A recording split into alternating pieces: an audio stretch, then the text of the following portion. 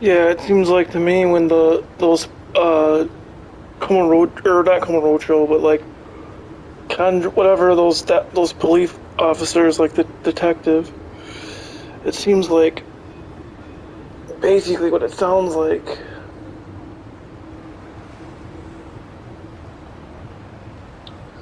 Is that they want to take care take care of this themselves, or at least HQ does, so it, they don't look bad, and they want to take the credit, so it doesn't it doesn't do bad on their rep- reputation. That's what I'm getting at, or what I'm trying to say. I just can't talk right now, but yeah. Anyways, let's continue.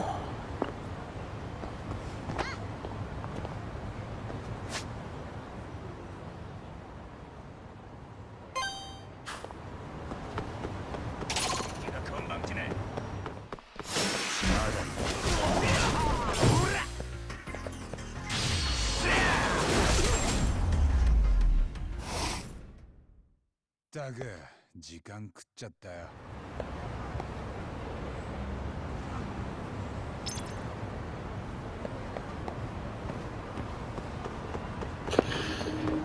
That's what it seems like, though, is that the Tokyo HQ wants to take care of them, take care of this themselves, so they don't look bad, and they take credit for it, so it doesn't ruin their reputation.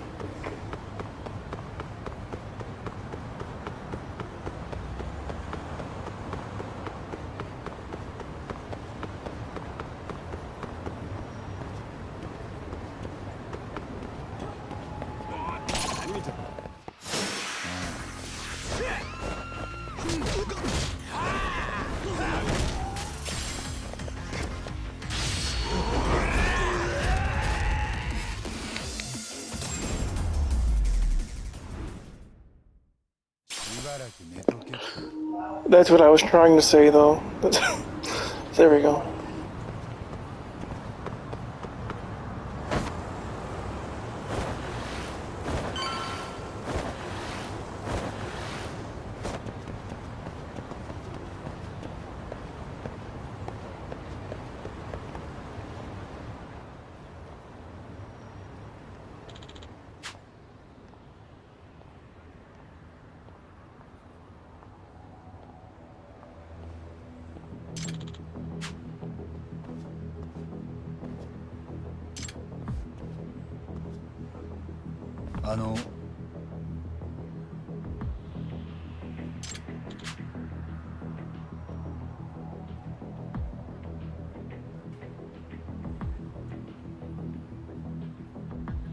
それって。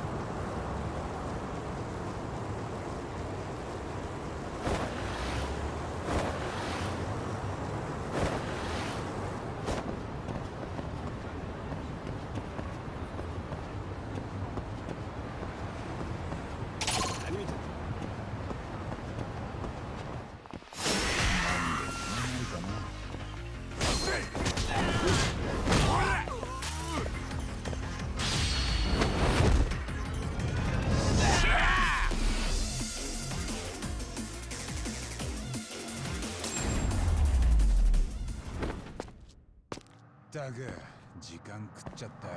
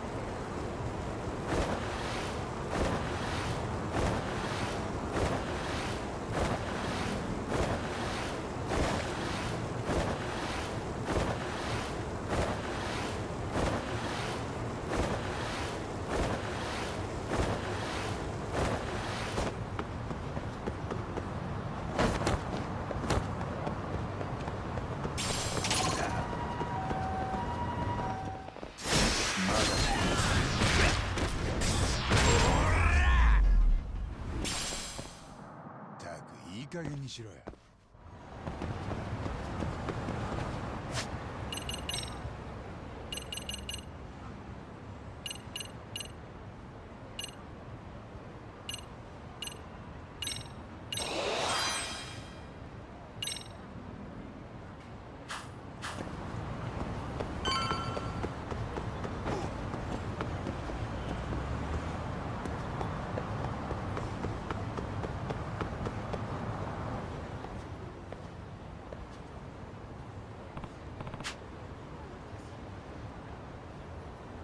矛盾していますぞ。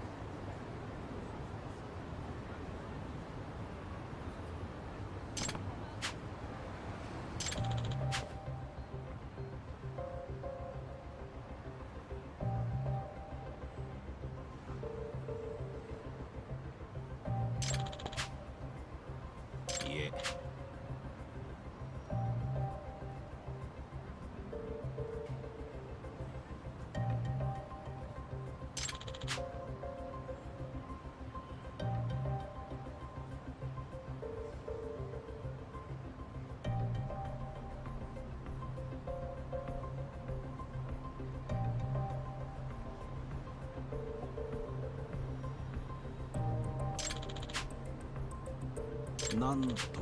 え？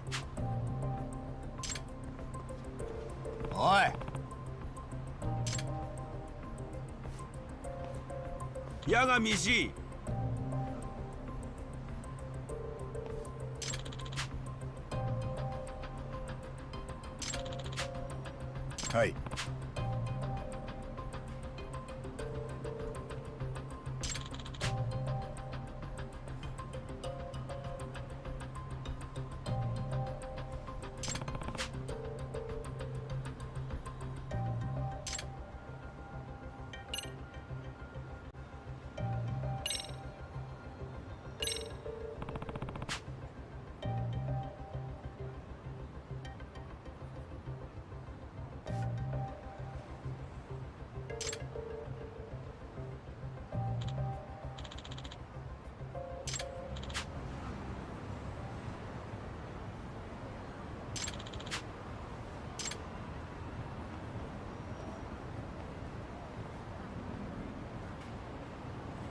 感謝しておりますぞ。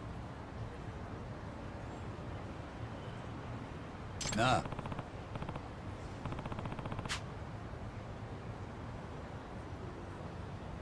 は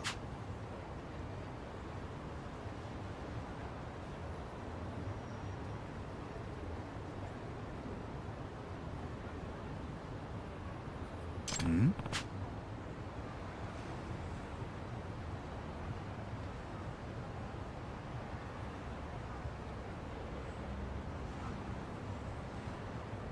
はい。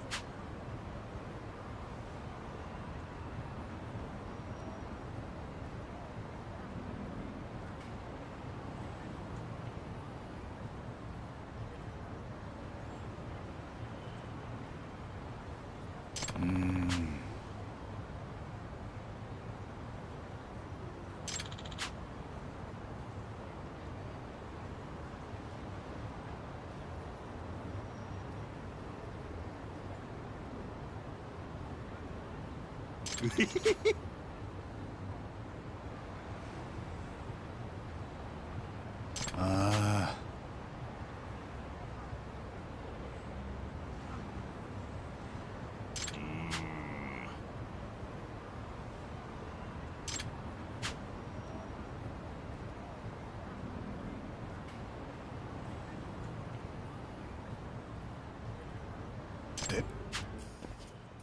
で。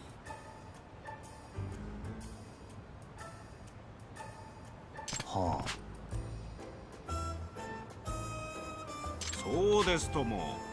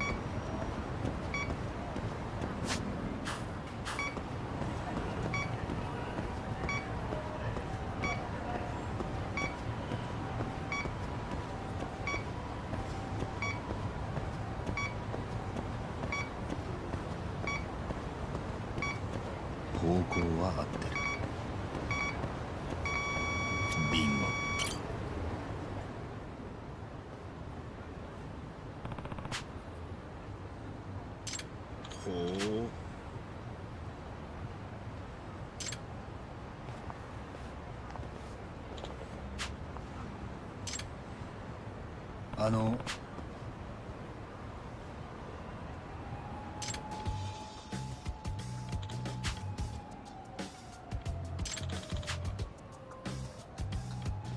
へえ。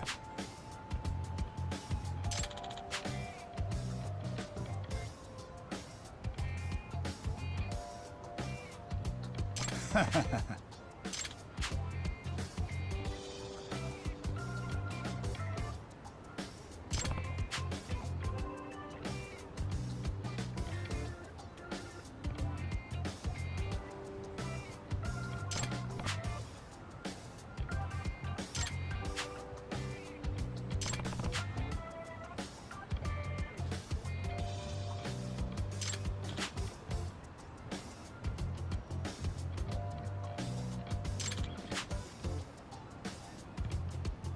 い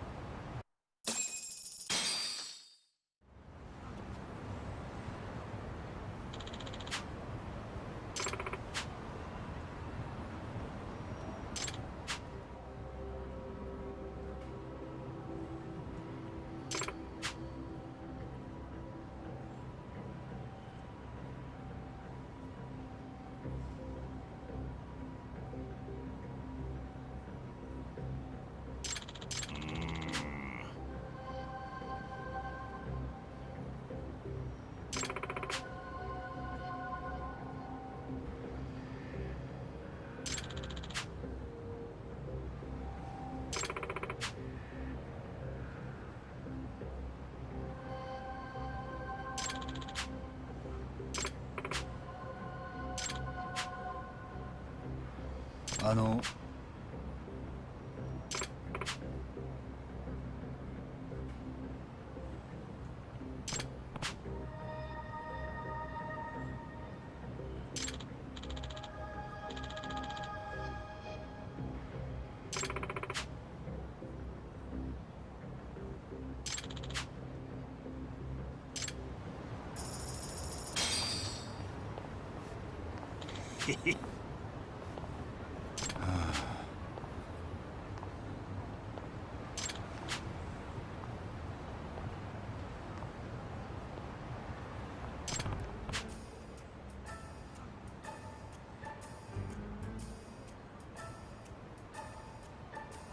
そうですとも。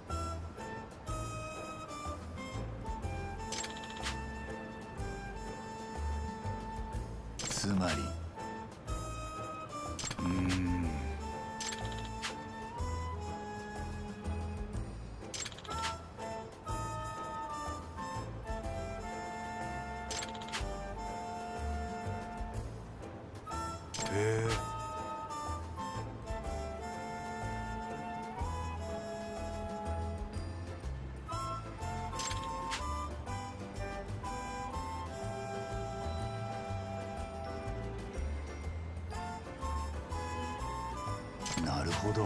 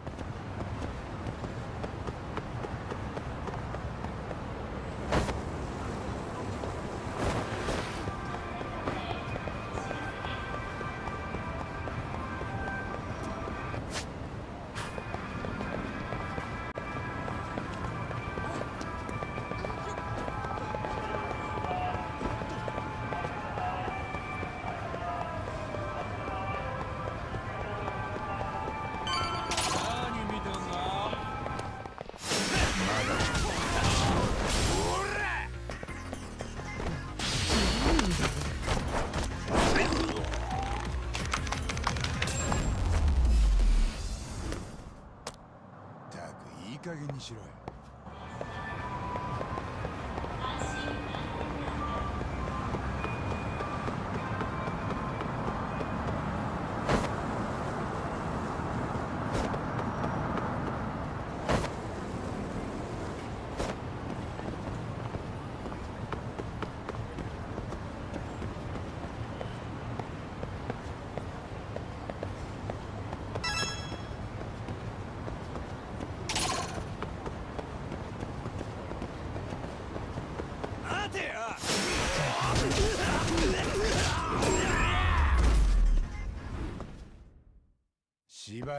どけっての。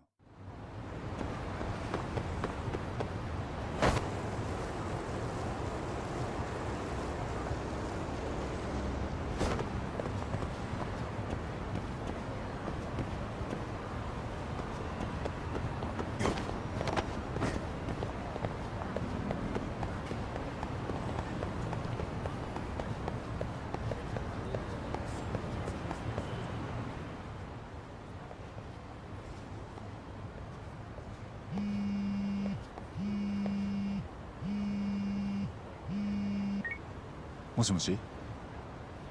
白崎です。八神さん今大丈夫ですか？ああ。こっちもそろそろ電話しようと思ってたとこ。三越柴殺しの材料が集まってきた。あああとそういえば沙織さん。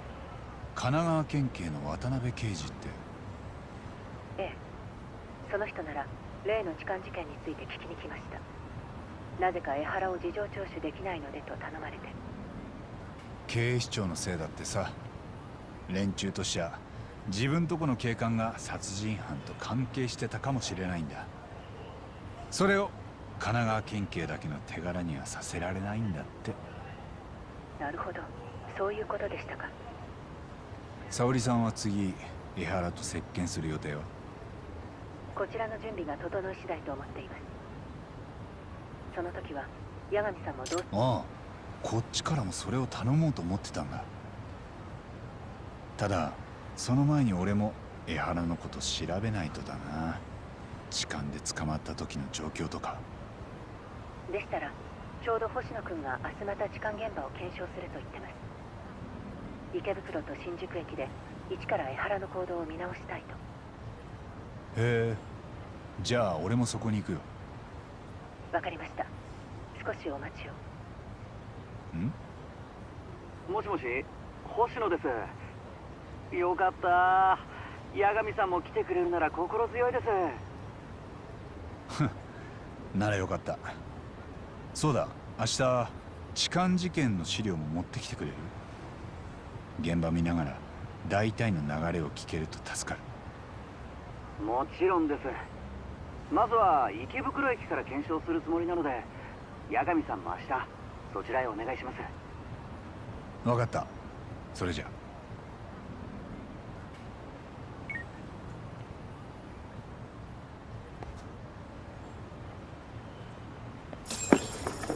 Yeah, see, it's basically what I said. It's because they want to deal with it. Tokyo headquarters wants to deal with it themselves and not have someone else take the credit. They want to, yes, base. That was, that was basically right. Okay.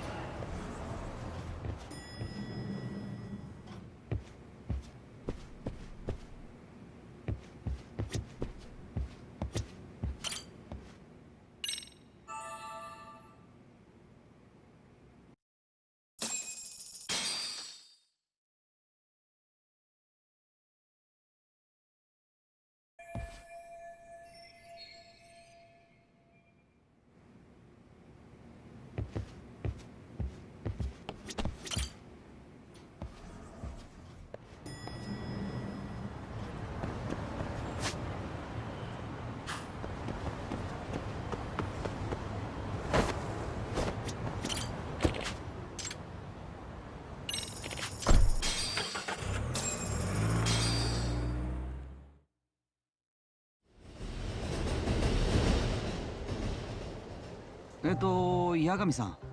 その看板ですね。事件前江原はそれにもたれかかっていた感じです。そうそうそんな感じです。江原はそこに立って痴漢する相手を物色してました。このキャップにサングラスの男が江原です。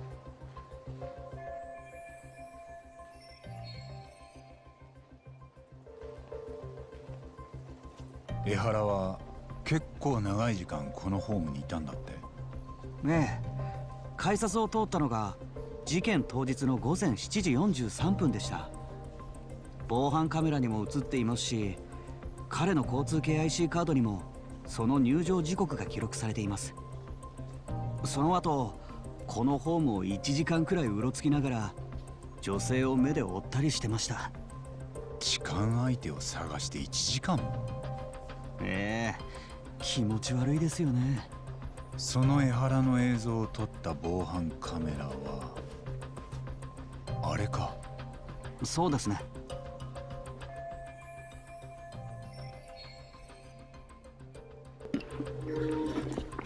You know, I'm curious. I wonder if uh, Inchin or whatever the police officer like that they're talking about. I wonder if he did the, all this so he'd have an alibi. You know, for the murder and everything, which is probably pretty obvious. He probably helped with the murder or something. I wonder if all this was just a stage for him to have a, a alibi. You know, Probably, I guess we'll find out. Cause you you know there's more to this and everything, but yeah.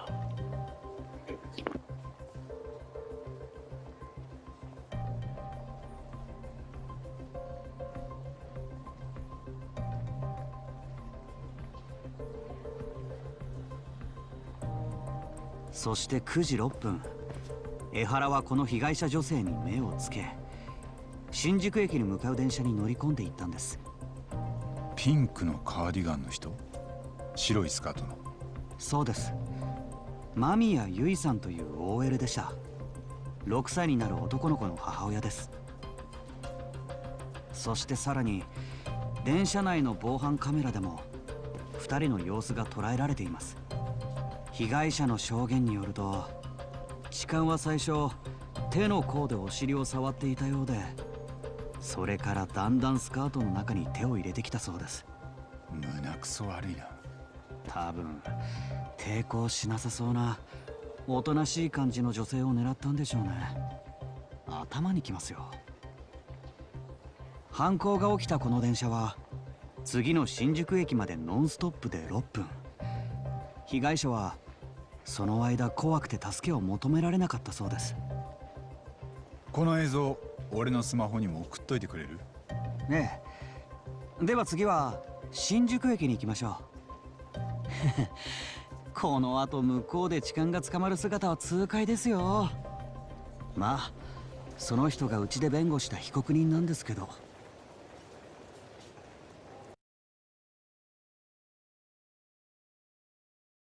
この電車は各駅停車。もうすぐ新宿駅です。八神さん。今はこの電車空いてるけど事件が起きた時はもっと混んでたよな。ええ。普段あの時間帯の乗車率は180%ですって。で俺が今いる位置が大体江原の立ってた場所か I wonder if he was like framed too, like the police officer, like do this or something happens or whatever. I don't know. I guess we'll find out.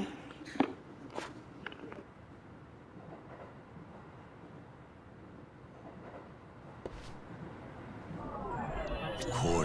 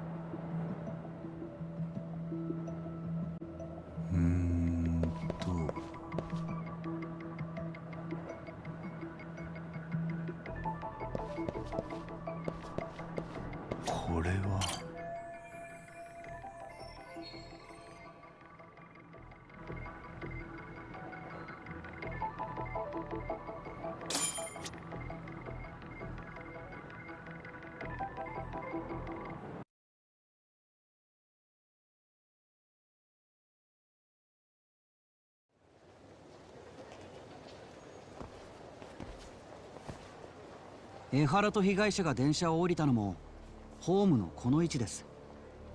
被害者の間宮さんはこの駅に着く直前スカートに入っていた痴漢の手首を握り返しました。そしてその手の主をはっきりと見たんです。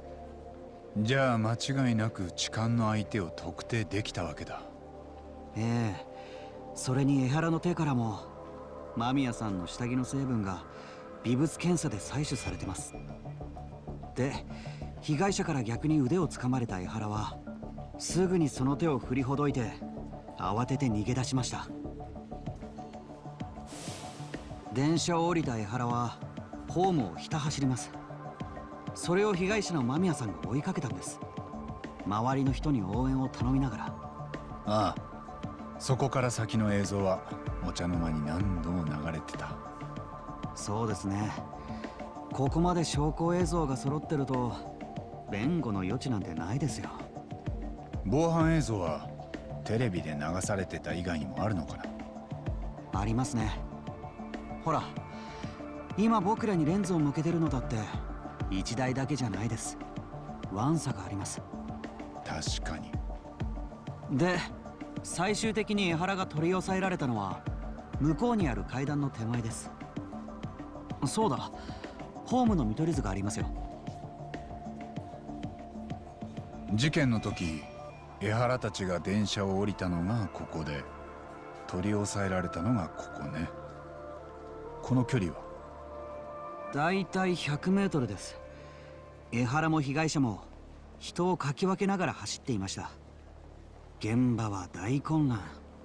江原が取り押さえられた後も安全確認のために20分ぐらい電車を動かせなかったんです。なあこの見取り図に防犯カメラの位置と向きを追加できる。ねえできますよ。じゃあ江原が捕まった地点に向かいがてらカメラの位置もチェックしていきましょうか。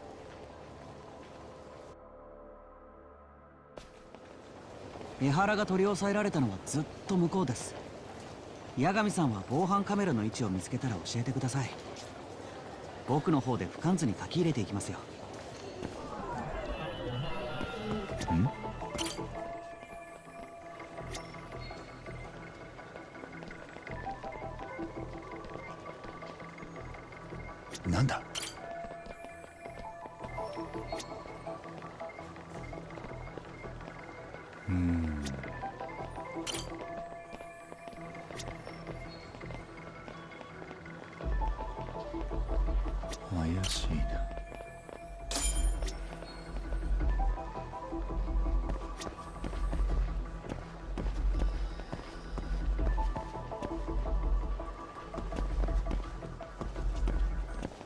今近くにあるカメラは全部チェックできましたね。じゃあ少し先に進みましょ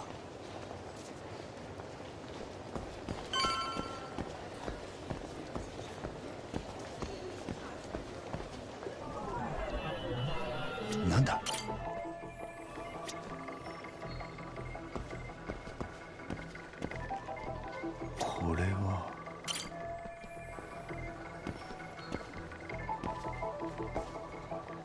な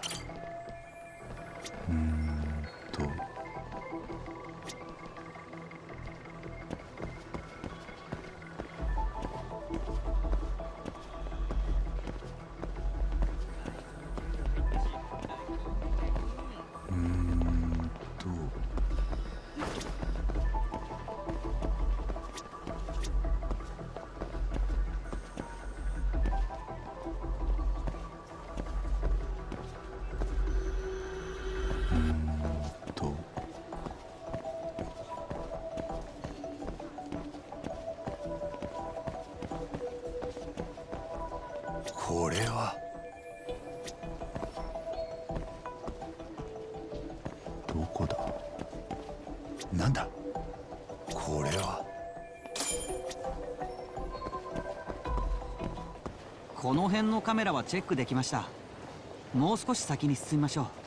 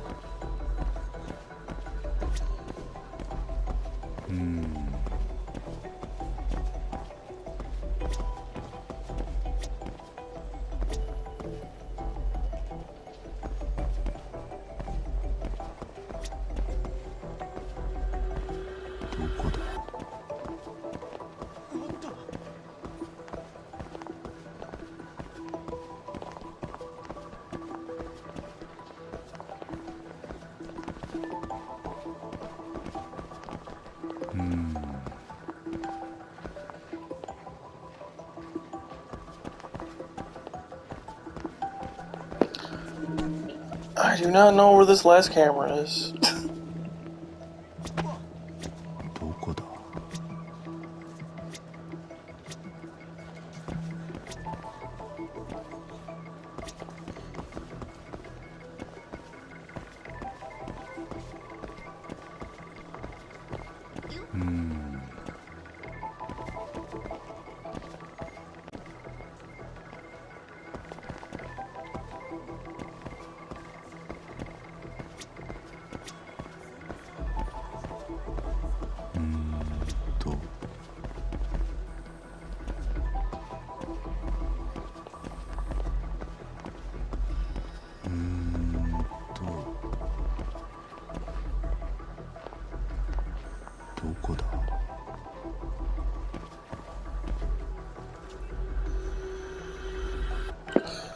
Let me do this off camera so I don't bug people. Be right back. うーんとん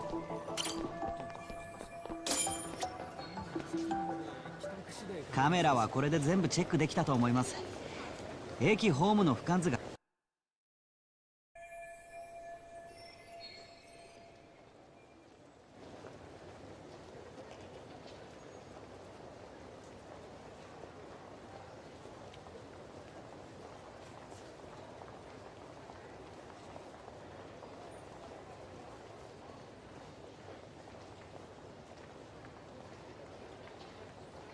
ここに今防犯カメラの位置とレンズの向きを加えてみます。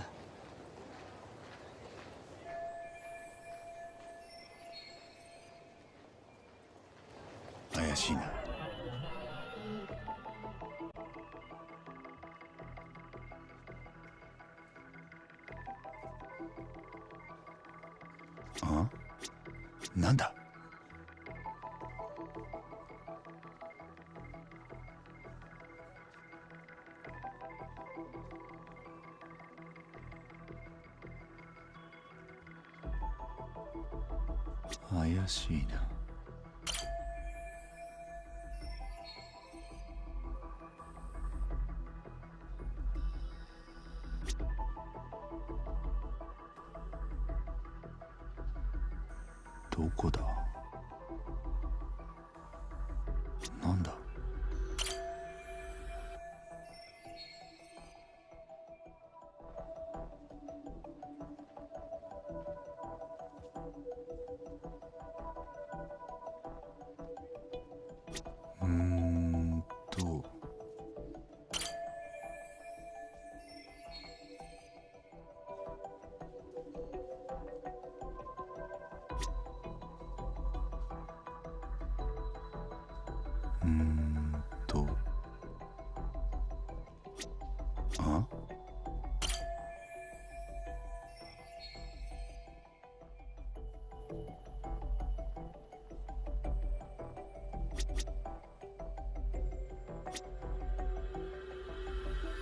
どこだ？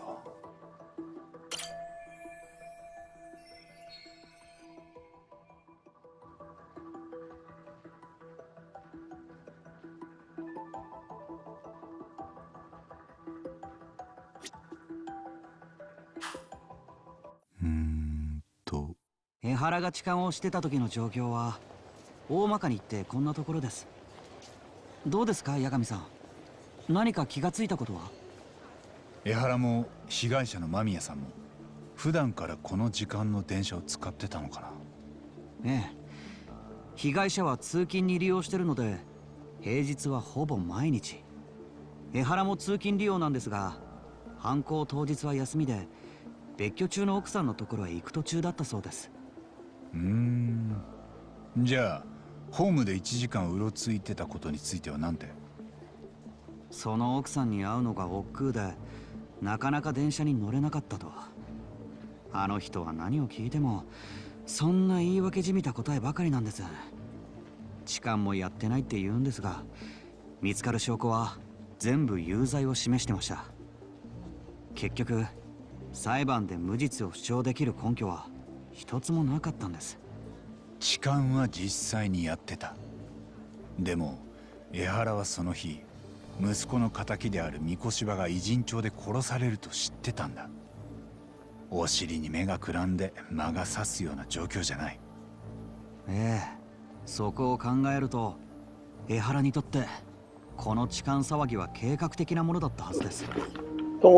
もしかしたら現行犯で取り押さえられるところまで全部。ああ。結果としてその痴漢行為自体が三越場殺しのアリバイになった。だからどれだけ大っぴらに殺しとの関与をほのめかしても最後には無関係だと言い張れる。なんかだんだん得体が知れなくなってきました。江原はまず間違いなく三越場殺しの一味と関係してるよ。けどそこを口割らせんのは難しそうだな。あいつは多分この件に捨て身でかかってる息子さんの復讐を果たすためにですか？ああ。共犯者たちは誰なんでしょう？江原はベテラン警官ですし殺し屋なんかとつながりがあったりするんですかね？そういう連中を雇って息子の敵を撃ったとか。もし仮にそんなコネがあっても大金がかかるだろうな。江原にその当てはありそう。いいえ学校を訴えた裁判費用でカツカツだったようです。そっか。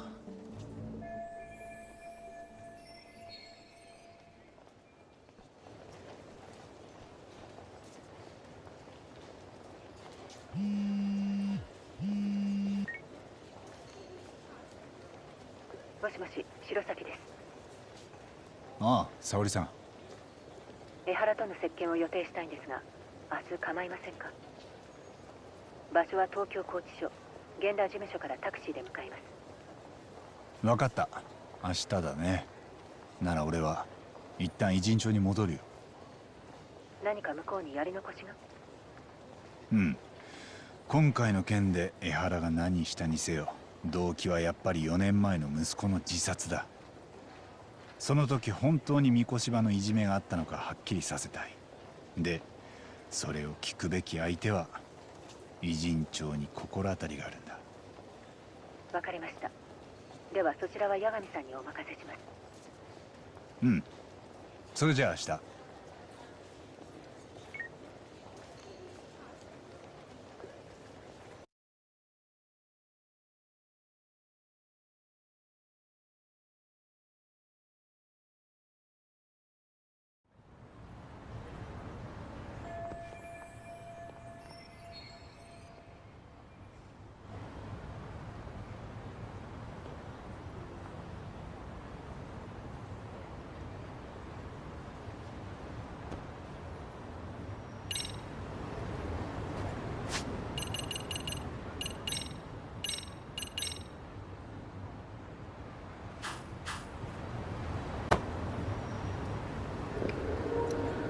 You know, since we know that he has a wife now, maybe his wife helped him with the murder, like a friend or something. Um, I don't know, someone from like the Yakuza or someone close to him. I don't know. I guess we'll find out. or maybe he, he was a millionaire and he just made it look like he wasn't. I don't know. I guess we'll figure it out.